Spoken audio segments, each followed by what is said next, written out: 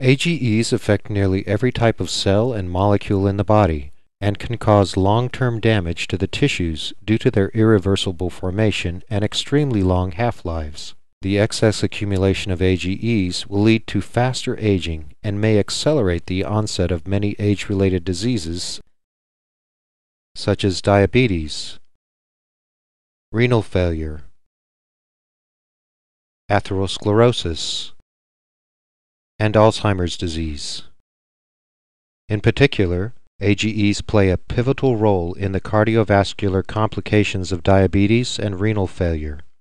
In diabetic patients, the rise in sugar level will generally lead to an abnormal accumulation of AGEs. The excess of AGEs will accelerate the development of cardiovascular complications through the initiation of a wide range of abnormal responses in cells and tissues, such as inappropriate expression of growth factors, alteration of growth dynamics, accumulation of extracellular matrices, promotion of vasoregulatory dysfunction, and initiation of death pathways. In renal failure patients, chronic inflammation will create high levels of oxidative stress, which will lead to rapid AGE formation.